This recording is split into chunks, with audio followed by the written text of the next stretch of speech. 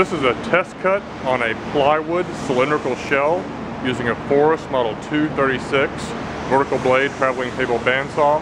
We've jigged the workpiece in place using welding magnets as a temporary fixture. In practice, we do something a little more sophisticated.